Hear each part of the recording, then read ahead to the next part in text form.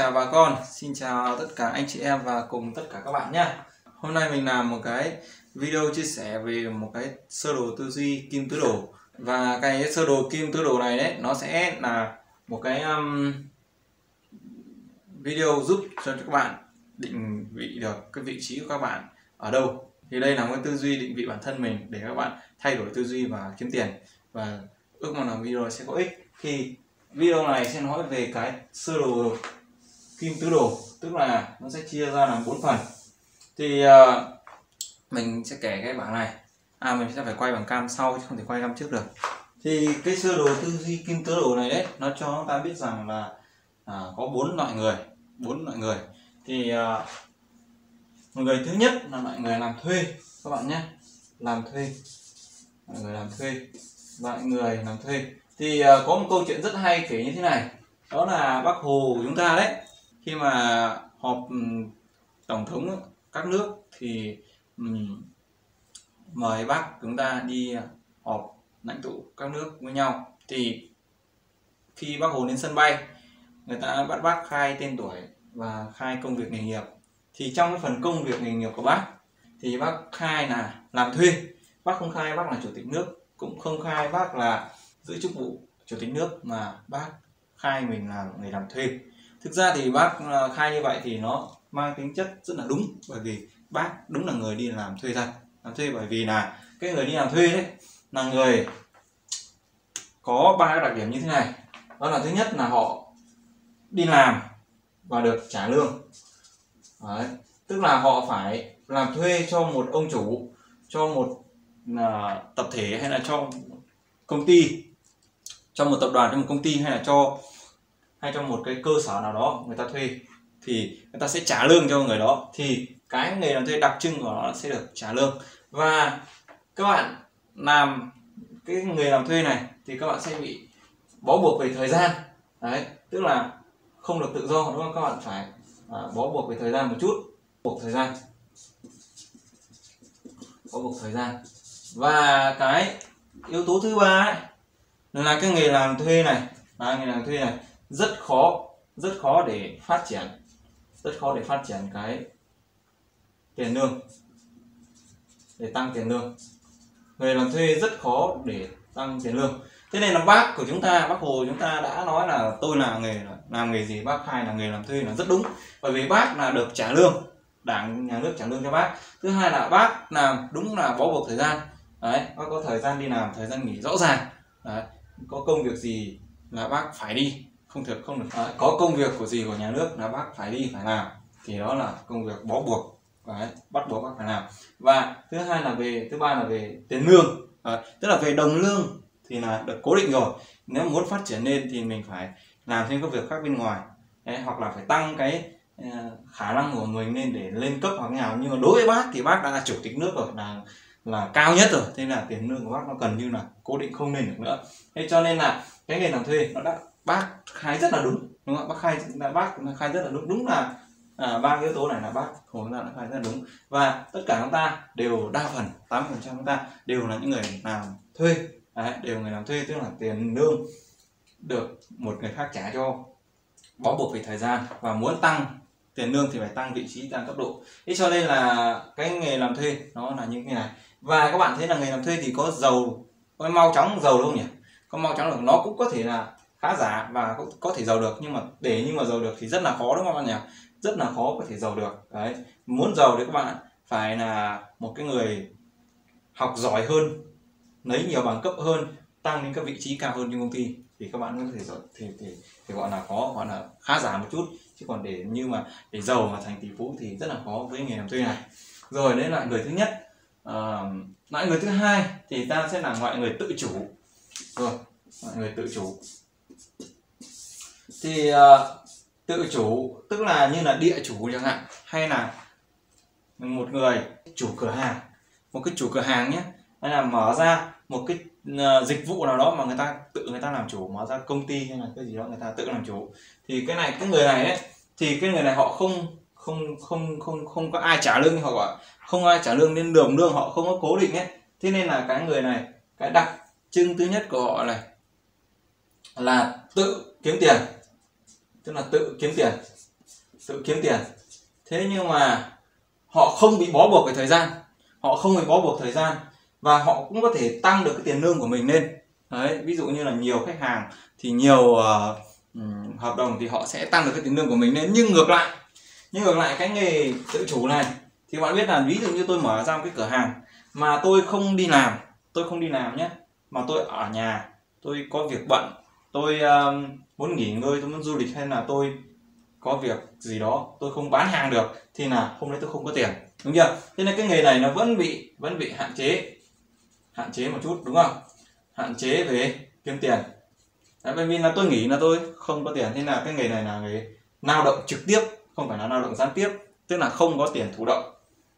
Đúng chưa? Và cái tiền lương của họ có thể tăng theo được. Nhưng mà muốn tăng theo được thì họ phải thêm vốn đúng không? Phải thêm vốn này thêm mặt bằng.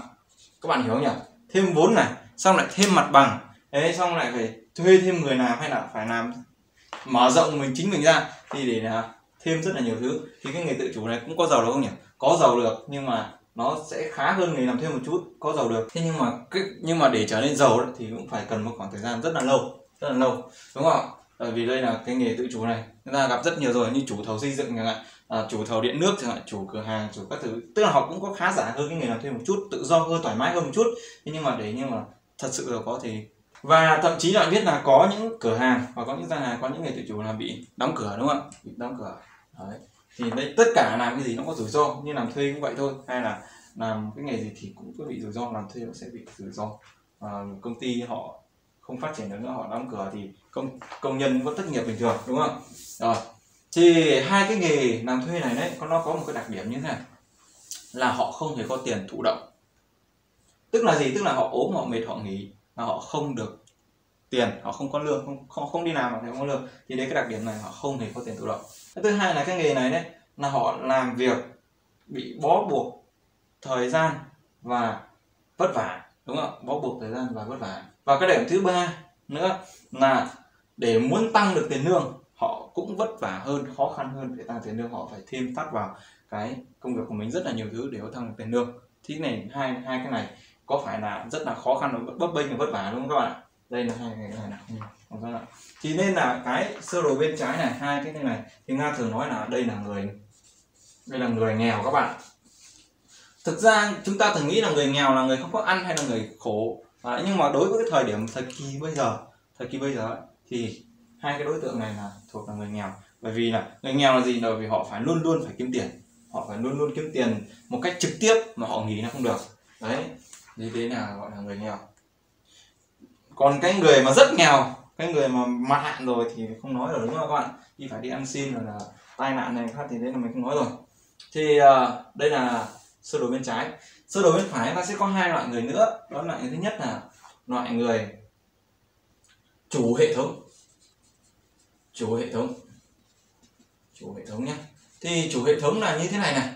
Là cái người này đấy, là họ tự trả lương cho mình là rồi. Nhưng mà họ này, họ thuê người nào họ thuê người nào họ thuê người nào đấy, họ làm cái chuỗi. Chuỗi nhá, họ làm cái chuỗi. Chuỗi dịch vụ. Chuỗi dịch vụ hoặc sản phẩm. Chuỗi dịch vụ sản phẩm. Rồi đây là cái chủ hệ thống. Và cái thứ ba là cái người chủ hệ thống này, là họ không trực tiếp, không trực tiếp, không trực tiếp kiếm tiền, không trực tiếp kiếm tiền nhá. Và họ phát triển đồng lương của họ bằng cách họ phát triển hai cái trên. Họ phát triển chuỗi dịch vụ mở ra càng nhiều càng tốt và càng thuê nhiều người nào càng tốt. Tức là họ dùng người khác để kiếm tiền cho mình. Thì đây là người chủ hệ thống. Cái người chủ hệ thống này yêu cầu là ông phải có vốn này ông phải có kinh nghiệm lãnh đạo này ông phải có kinh nghiệm làm cái này khác. Thì thực ra ấy, thì ban đầu con người ta sẽ bắt đầu là sinh ra hai bàn tay trắng nó phải làm thuê lấy tí vốn đã đúng không? Làm thuê lấy tí vốn rồi là khó khăn gian khổ làm đôi ba năm hoặc cần là làm 5 năm để lấy tí vốn đã. Thế sau đó thì có tí vốn ta về ta mở cái cửa hàng nhỏ nhỏ ta bán. Thế ta bán là có tí tiền nó thêm vốn vào đúng không? Nó phát triển ta trở nên làm một cái làm ông chủ của hai cửa hàng. Khi ta làm ông chủ của hai cửa hàng rồi ta học thêm internet marketing học sale học các thứ mà thế sau đó ta mở ra một cái hệ thống bán hàng bởi vì lúc đấy là thêm vốn ta nhiều rồi. Vốn liếng ta có rồi ta mở thêm cái cửa hàng. Thì ta xây dựng ra một cái hệ thống. Và chuỗi hệ thống sau đó ta không làm nữa. Ta không làm nữa ta thuê người về làm và ở cái chuỗi hệ thống cho cái cửa hàng ấy cho ta thì thì lúc đó ta trở thành chủ hệ thống. Đấy, thì mình có quen người anh em họ làm, anh ấy làm đúng như thế này. Anh ấy đầu tiên là một cái người ăn chơi sao đọa. Đấy, sau đó là phải trốn ra quảng ninh để trốn nợ. Sau đó anh đi ra quảng ninh sẽ là nhiều tiền rồi nhưng mà nó rất là khổ và rất vả đâu nhưng mà anh ngậm đắng cái anh làm để trả nợ trả nợ xong anh đi về công ty LG công ty LG các bạn ạ. À, LG đấy để làm. Và vẫn là làm thuê nữa làm được một thời gian đấy thì anh học thêm tiếng Hàn học tiếng Hàn rồi học thêm kinh doanh rồi đọc rất nhiều sách về tư duy. Rồi là anh ấy về mở một cái cơ sở tự chủ. Anh ấy không đi làm nữa làm thuê nữa. Anh về anh mở một cái trung tâm dạy tiếng Hàn nhỏ nhỏ. Thì sau đó từ trung tâm dạy Hàn anh thêm vốn vào. Anh làm thêm du học Hàn Quốc. Đấy thì sau đó anh mở rộng thêm mối quan hệ nữa thì anh ấy làm hết các vấn đề liên quan đến du học. Và rồi du học à, khác nữa du học anh đức mỹ rồi anh làm tất cả. Thì sau đó anh trở thành người tự chủ. Khi có tiền rồi anh mở ra hệ thống. Thì bắt đầu là anh mở ra đầu tiên là trung tâm này sau đấy là công ty du học này sau đấy là cửa hàng bán hàng. Các bạn cửa hàng à, như là media mart hay là ấy đấy anh ấy mở ra cửa hàng. Như là Vinmart ấy mở ra cửa hàng bán những cái uh, đồ ăn, đồ uống, đồ dùng hàng ngày, dưa táo lê mà, tức là vào một cái mát bên trong nó có tất cả mọi thứ, thì anh mở ra cái mát và anh thuê tất cả là người làm. Thì đến thời điểm bây giờ là gần như anh không làm cái gì cả, mà anh chỉ đi kiểm tra con số thôi. Thế nên là lúc này là làm chủ hệ thống là anh đang làm làm chủ hệ thống. Tuy rằng là cái hệ thống nó chỉ có hai, ba hai, ba thứ thôi, tức là một cái cửa hàng, một cái trung tâm, một cái công ty nó cộng vào, thì là vẫn làm một chủ hệ thống, nó rất là nhỏ, nhưng mà đây là đang đang trở thành chuỗi giống nhỏ, đúng không? Dần dần rồi anh sẽ lớn lên. Anh sẽ tiếp tục mở thêm nhiều chuỗi hơn, thuê nhiều người làm hơn thì anh sẽ là chủ hệ thống. Và tất nhiên là không phải là, tất nhiên là anh không phải là tự mình kiếm tiền nữa, đúng không? Mà anh đây là tự do tài chính rồi, tức là không trực tiếp lao động. Thì cái vế bên phải là như vậy. Cái đặc điểm của người bên phải của kim tứ đồ này là người không trực tiếp lao động. Thì cái người cuối cùng là cái người đầu tư. Nhà đầu tư hoặc là chủ đầu tư hay là người đầu tư? Thì người đầu tư là gì? Thì họ có thể mua đất đai, bất động sản, đúng không? Bất động sản. Hoặc là họ mua hẳn lại một cái hệ thống của người khác để họ làm. Đấy, hoặc là họ đầu tư xe, đấy, đầu tư cổ phiếu, trái phiếu đầu tư tất cả các cái gì mà nó gọi là dùng tiền để để ra tiền. Các bạn họ dùng tiền để ra tiền, họ không hề ừ, làm thuê, không phải là, không phải là mở cửa hàng họ cũng không không cần phải làm chủ hệ thống. Đấy, mà họ, ví dụ như họ thuê, họ mua hẳn một cái hệ thống của người khác sau họ về họ lại thuê thằng khác đến làm giám đốc cho họ họ lại thuê người khác để bán hàng chủ cửa hàng đó. Mà tất cả họ chỉ là nhà đầu tư mà thôi. Họ đi đầu tư cổ phiếu, trái phiếu, họ tất cả mọi thứ. Thì cái người nhà đầu tư này là nhà thông thái nhất, phải rất là giỏi và phải có rất là nhiều tiền. Thì ông có tiền ông mới là đầu tư được, đầu tư là nói về về tiền rồi. Thì cái bước cuối cùng ấy là thường là tất cả những người chủ hệ thống khi họ có tiền, họ sẽ mua rất nhiều đất. Đấy, mua rất nhiều cái gọi là tài sản để theo năm tháng nó đẻ ra tiền cho họ gọi là gọi là mua con gà để để ra trứng vàng đấy thì đây là bốn mạng người trong cái trình tư đồ này. Đây là một cái hệ thống tư duy tư duy và mình chia sẻ các bạn để giúp các bạn. Đó là đầu tiên chúng ta làm thuê và đó là một điều tốt để chúng ta lấy vốn đã. Đấy con người lao động là vinh quang ta phải ngậm đắng nuốt cay để đi làm. Và khi ta đi làm ta phải chatbot chi tiêu phải giữ lại, đúng không nếu các bạn làm được 7 8 triệu tháng lương, các bạn giữ được khoảng tầm một năm thì cũng phải để lại được 4 50 triệu, đúng không làm làm 2 năm cũng để gần trăm triệu thì các bạn lúc đấy sẽ có một cái đồng tiền nhất định, các bạn có thể mở cái trung tâm tiếng Anh hay là mở một cái trung tâm nho nhỏ hay là mở một cái gì đó, cửa hàng gì đó thì các bạn làm tự chủ đã. Khi các bạn làm tự chủ thì các bạn sẽ, thì cái thời gian rảnh nó sẽ nhiều hơn một chút, các bạn tự tự chủ thì vốn nó sẽ tăng nhanh hơn một chút, đúng không kiếm nhiều tiền hơn ở các bạn mở ra nhiều các cửa hàng mở ra nhiều các uh, công ty mở ra các nhiều trung tâm và mở nhiều như vậy thì nó thành hệ thống. Khi thành hệ thống thì các bạn học cách làm lãnh đạo cách quản vào chủ hệ thống và làm chủ công ty. Đấy, rồi sau đó là các bạn tự do tài chính. Rồi cuối cùng là các bạn rồi sau đó là cuối cùng là các bạn có tiền rồi các bạn giao toàn bộ hệ thống các bạn do người khác. Các bạn các bạn trở nên rảnh rảnh đúng không? Rảnh thì các bạn đi đầu tư tiền các bạn có các bạn đi đầu tư. Thế là các người giàu họ sẽ lại càng giàu. Thế gọi là đầu tư là là cái bước cuối cùng của người giàu nhất. Đấy. họ không phải làm gì họ rất rảnh rỗi. Họ 9 giờ mới đi ăn sáng.